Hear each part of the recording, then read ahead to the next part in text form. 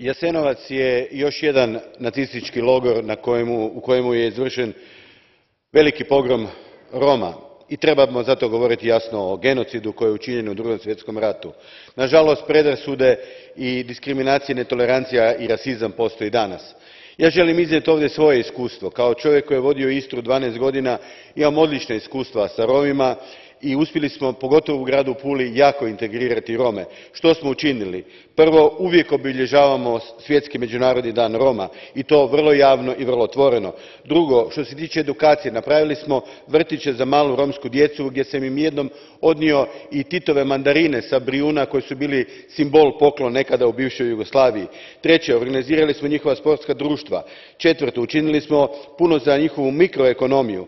Peto, imamo posebno radio emisiju u kojoj redovito sudjeluju Romi. Šesto, sudjeluju na svim manifestacijama gdje njeguju svoj kulturni identitet. Imamo puno toga još za reći, ali volim govoriti o pozitivnim primjerima. Ovo je recimo nešto pozitivno.